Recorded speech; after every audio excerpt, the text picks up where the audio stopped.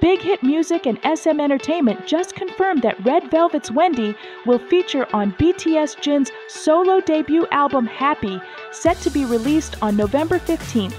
This collaboration brings together two of the best K pop vocalists.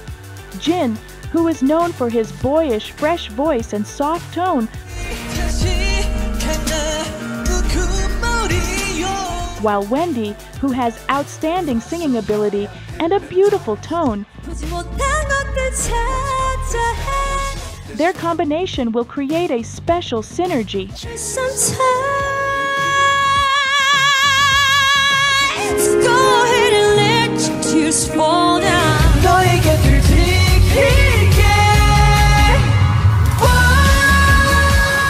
From saying wanting to get to know Red Velvet members to now having a song with Wendy, and do you remember the iconic moment when Seokjin danced to Russian roulette?